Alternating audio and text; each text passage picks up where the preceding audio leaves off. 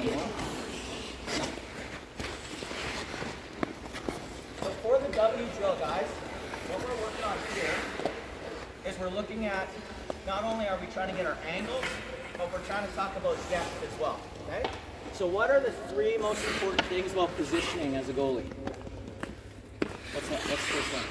Well, probably being like squared to the ring. Square, you nailed it. That's the first one, absolutely.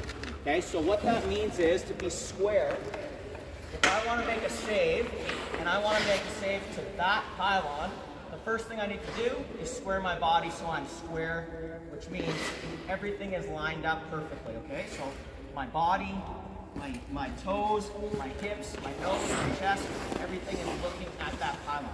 That's square, okay? So what's the second most important thing? There's three things I'm looking for. Square is number one. What's number two? Angles maybe? Pardon? Angles maybe? And did you study ahead of time? You're pretty good. Pretty good. Said maybe. Angles. All right. So we get square first, then we get our angle. So what does our angle mean? Yeah? Well, your angles, the further you are, and like the more that you challenge, the smaller you are your angles get, and you want your angles to be as small as possible. Okay. Because the smaller your angles are, the less that they have to shoot at. Okay, not bad. Not quite. So what you're talking about is challenging in depth. Okay? So you might be jumping ahead to number three, but you're one. Okay? But angle, so this is the middle of our net, the angle is are we straight from the middle of our net to the to the target that's shooting at us, right?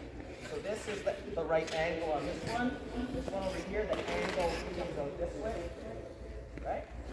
So for me, if I've made a save over here, and the next shot is coming from that pylon, the first thing I'm gonna do is get square, okay? Then I'm gonna find my angle, and then I'm gonna find my depth, okay? So there's three things, it's square, then it's angle, then it's depth.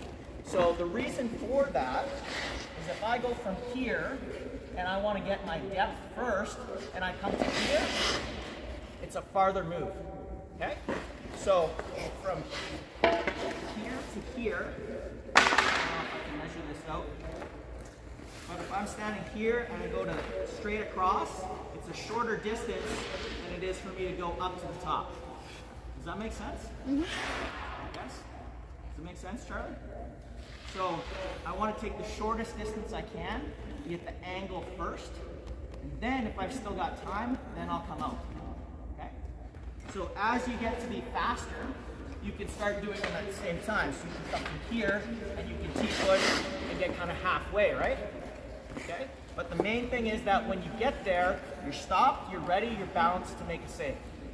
Okay? So what we're to do on this drill is we're to start here. We're to go out, square up to the first one.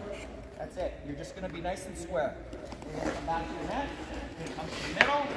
Come out, square up to this one. Back to the middle. Come to the wall. Clear the edge. Square up to this one. Back in. Come back to the middle. That's it. Super easy, okay? But we're gonna videotape you guys. You're just gonna repeat it over and over and over again. We just wanna see you move in the net, okay? So let's move. Oh, we can leave one here. Put one over there.